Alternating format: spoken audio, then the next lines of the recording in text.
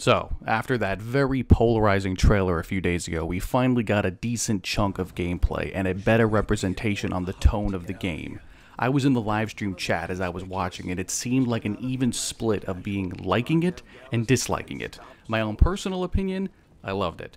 It looked like a huge step up from Inquisition. Can you believe it's been 10 years? And it looks like it's all in on making this game a full on action RPG harkening back to its Dragon Age 2 roots. The Veilguard also returns to Dragon Age 2's three tone dialogue options, allowing you to pick from a diplomatic response, a humorous one, or an aggressive one.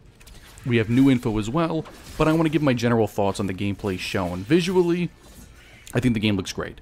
Definitely the best looking Dragon Age so far, but considering all three previous games were a part of the 360 generation, I would certainly hope so. Now, is it just me, or do the character models look like they kind of have this watercolor canvas painting kind of effect over them? I can't quite put my finger on it, but I really, really like it.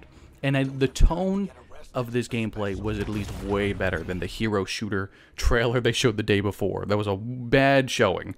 So, the gameplay shows up a chunk of the Veilguard's opening segment, which has new protagonist Rook helping returning heroes Varric and Lace Harding look for Solas in the Tevinter capital, the magical city of Minrathous.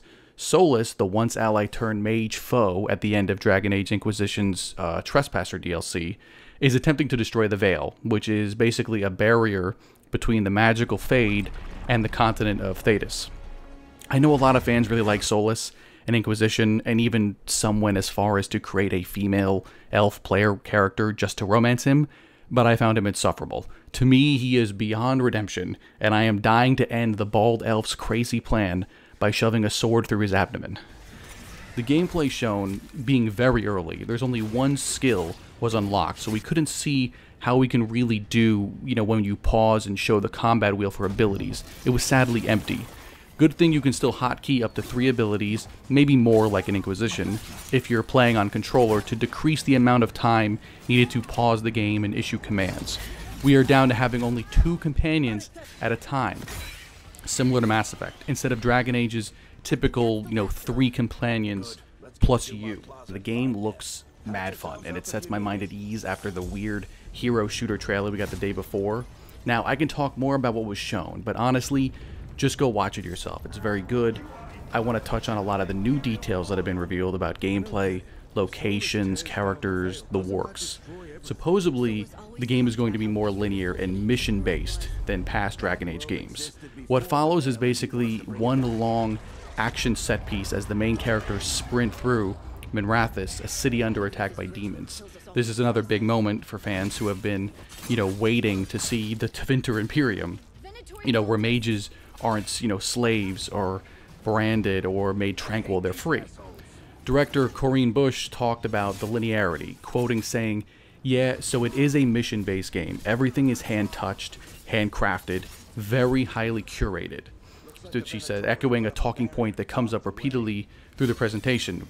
Quoting, We believe that's how we get the best narrative experience, the best moment to moment experience. However, along the way, these levels that we go to do open up some of them have more exploration than others, alternate branching paths, mysteries, secrets, optional content you're going to have to find and solve.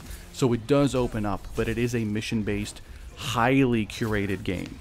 Some of them, especially when it involves the motivations and the experiences of the companions, you're really along on this journey with them. Others, you're investigating a missing family, and the entirety of this bog is open up to you. You're searching for clues, finding a way to solve their disappearance. So, really, it's not a one size fits all solution, but I do want to emphasize that handcrafted and curated is our approach. Now, to me, this is a huge step up from Inquisition. That game was bloated for absolutely no reason, and half of the activities you did in every regional map was pointless. Find 20 shards here, solve an Astrarium there. It got old mad quick. So to essentially go to Mass Effect 2 and 3, that kind of route focusing on characters and story, is a huge W for me personally. Let me know what you guys think in the comments. Dragon Age Veilguard will not use the Keep, as Inquisition did, but the beginning of the game lets you choose past adventures through tarot cards and provides context on decisions. So I hope it still lets us go back and make decisions as far back as Origins, all three game choices need to be shown here, at least the big ones. Previous characters will be returning, the Inquisitor is confirmed, I'm still hoping for more Hawke, and maybe our Warden from Origins. And again, to reiterate, this is a single player, no microtransactions, and offline gameplay game. Thank you, BioWare. There's some new details for the character creator as well, with the most customizable creator so far. Different lighting options to help with skin tones, uh, you know, pronouns, body sizes can be changed, dozens of hair options. You can play as a human, elf, Qunari, and dwarf. Uh, there are four voice options for Rook, two with American accents and two with British accents, so similar to Inquisition. And you have seven different factions to choose from as a sort of origin. I hope that means we can have a different prologue kind of thing, but it's probably essentially just dialogue fluff commenting on what race you are or what faction you belong to prior to the start of the game. Some locations have been revealed, like the Arlathan Forest, Rivain, uh, Minrathous, obviously, and even more to come.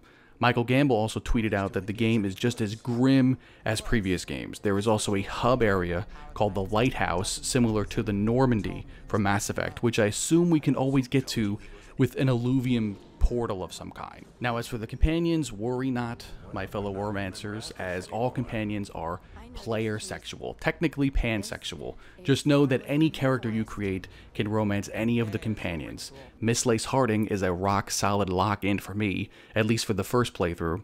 What about you guys? Who are you romancing your first go around? Busche also commented on the romances, quoting, their past experiences or partners, they'll reference them and indeed who they'll become romantic with. For instance, we saw Harding. I might be playing a straight male character flirting with her, but I choose not to pursue a romance. She might get together with Taash, so my perception, my identity has no bearing on their identities, and that comes through really strongly. When asked if this means it won't take long for romance to become an option in the Veil Guard, they confirm that you'll be able to start flirting with everyone pretty early as you recruit all seven companions throughout the first act. But she clarifies it's not until the later parts of the game where you really commit to romance, and it gets pretty spicy. And yes, Veilguard will have nudity.